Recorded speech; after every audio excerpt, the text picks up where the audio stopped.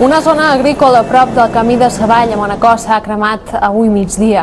L'origen de les flames ha estat una espurna provocada en xocar un tractor en moviment amb una pedra.